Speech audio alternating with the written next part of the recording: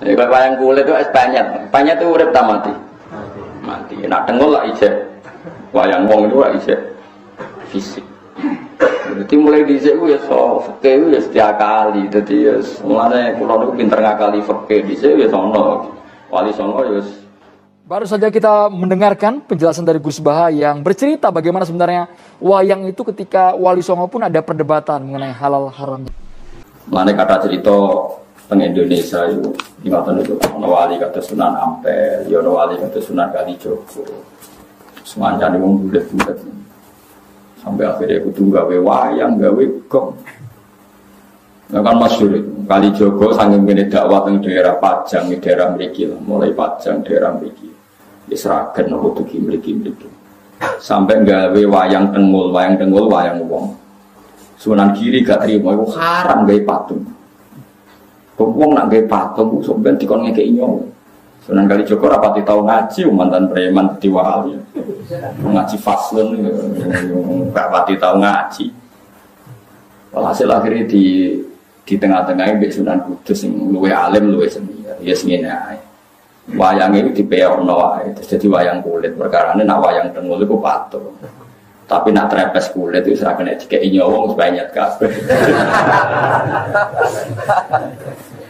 Mulane kula nate sowan teng kiai, kiai niku kiai alim dikai hadiah mebel lemari sangka Jepara. Niku gambare iku manuk bangun. Wapi, wos wapi tenan ukirane manuk, tapi gulune iku protok. Perkara ini pas teko langsung diketok kowe kiai. Pas gulune tok yo sithik diketok. Nah, takut itu kok diketok ya. Mergo ben ra urip. Nak ra diketok kan nak Nah, diketok kan asumsinya kan kono ngekeki nyawa kan nek ketok ini kan gak iso. Tok kok sithik, oh sithik wis mati to. Mergo nek dibuak kabeh ukirane elek. Paham nggih? Nah dibuak kabeh yo dene yo kepen di lemari larang. Jadi mau digraji ngangge graji besi sithik. Butuhe wis apa? Lah kok sithik, Mbak? Wong mati. Wah, curang ya. Ya kalau wayang kulit itu es banyak, banyak itu urip tak mati.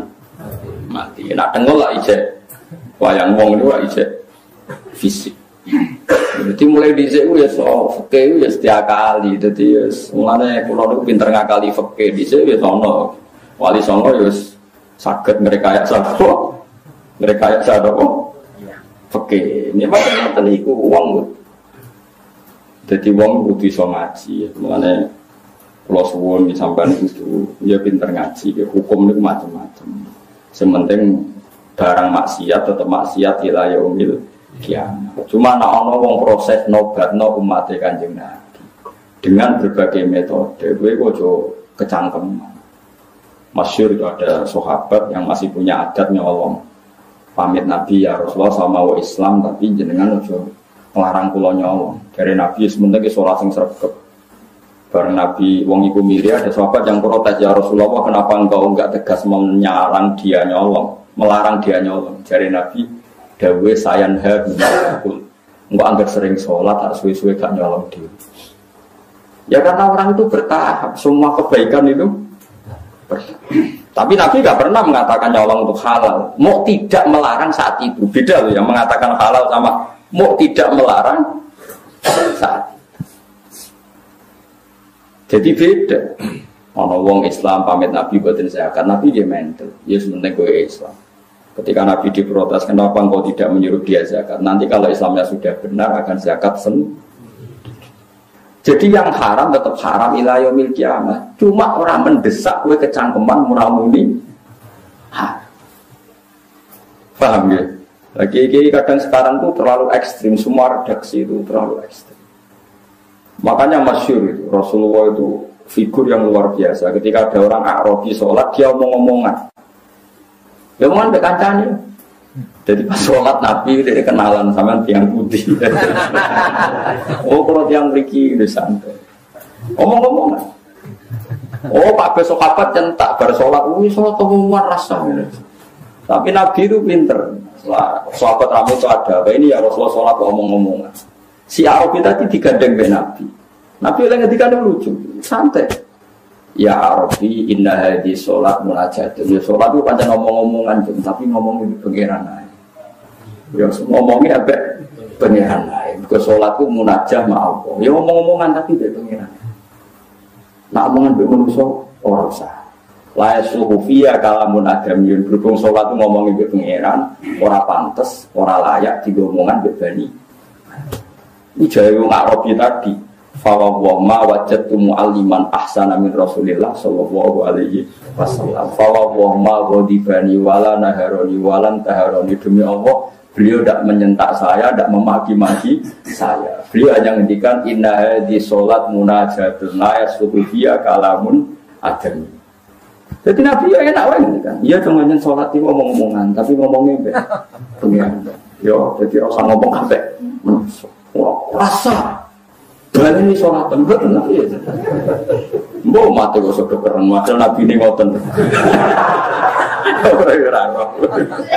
Ini jenis evolusi. Jadi nabi ini bijak kena umatnya wis rapati dong. Ya mereka kurang ilmu, rata-rata orang bijak kurang apa? Kerengnya di disin. Jadi kita ini itu terus belajar gitu, nopo terus nopo Meskipun hal-hal yang mungkin kita duga dulu itu kontroversi, tapi sekarang itu kelihatan penting. Saya di Matolek Kajen itu pernah disuruh jadi narasumber fikih. Itu saya bilang begini, kamu masih muda harus belajar fikih yang luas. Termasuk kemungkinan sholat jenazah itu boleh jenazahnya di belakang. Meskipun itu aneh dan tidak perlu kamu lakukan karena kamu dianggap aneh. Tapi itu zaman Imam Nawawi yang ngarang majmuk sudah dibicarakan. Jenazah di depan itu syarat sah atau adat. Mulai dulu lama bilang hanya adat. Hakada wajat nadalika salafan wa kholafan. Panjang kita nanyolati jenazah, normalnya jenazah di depan. Tapi itu hanya adat. Nggak bisa kamu katakan satu sifat syarat sah. Fa'inal jenazah laisat biman ziratil imam. Karena jenazah itu tidak imam. Kenapa harus di depan? Ayo kok nak mentah kan. Saya ini jenazah kok ngarep alasan apa? Ora imam kok didatok. Nah. Berhubung ra imam kok buri ora apa-apa, ora imam kok kudu kok. Nah. Ya tapi ora usah mbok lakoni. Ora usah. Tapi ini tetap penting. Sekarang kelihatan penting dalam konteks Arab Saudi. Itu ada di kita mahali, sama cari nanti di kita mahali. Kita mahali itu di atas kita Fatul Wahab. Biasanya kalau dalam pondok itu kan kastanya kan Fatul Qorib, Fatul Mu'in, Fatul Wahab terus mahal. Saya termasuk pengajar kita mahal. Tapi kan bantah aku ya iso ukur ilmumu. Misalnya kene takrib aku ning mahal. Ora urusan sombong, nabe bantah ukur dhewe mau ke takrib, Fatul Mu'in, Fatul Wahab mahal. Kena bantah ya ukur maksudnya. Ukur berlewati mau. Berlewati Fatul Qorib, Fatul Mu'in, Fatul Wahab, dari itu gue boleh aku. Ayo ke debat ya, debat. Debat gak bohong. Itu di kita mahali diterangkan. Ketika seperti itu kita hanya mengatakan jenazah ya sudah di depan. Memang seperti dulu ya seperti itu jenazah di depan. Tapi kamu jangan meyakini harus di depan karena final jenazah laisat biman silatil iman jenazah itu tidak ini. Sekarang terbukti dalam konteks Arab Saudi. Dulu ketika saya kecil itu sering diceritani bapak, bapak saya yang haji. Kalau tiap maktubah itu ada jenazah yang dibawa ke depan untuk disolatkan di masjid haram. Paham ya? Jelas ya? Kita sepakatkan di sejarah seperti itu. Sampai ada tragedi yaitu ada senjata senapan senapan laras panjang dibungkus ala nopo jenazah kemudian dibawa ke depan. Ketika pas disolati para teroris ini menggunakan senjata itu untuk nembaki nopo jamaah. Itu peristiwa tahun pinter ya, tujuh berapa, tujuh delapan atau delapan dua, pokoknya pernah itu terjadi. Pernah tau dengar sama ceritanya.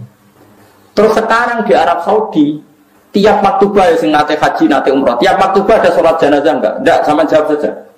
Ada kan? Sekarang tuh, ada enggak? Ada. Jenazahnya di mana? Enggak di depan apa di belakang? Di belakang tetap di kamar jenazah. Aku tuh seling eling Imam Nawawi, cek mandi nih Imam Nawawi. Tapi nih Indonesia kira usah ngono.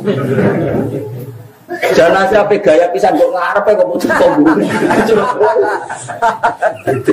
Oh Indonesia kan nggak mendesak untuk jadi Moskow jadi model aja lakoni itu so gede. Mas dalam konteks Indonesia usah Tapi secara ilmu kowe ngerti nak jenazah ora iman. Mulane ra kudu kok ngarep. Paham ya?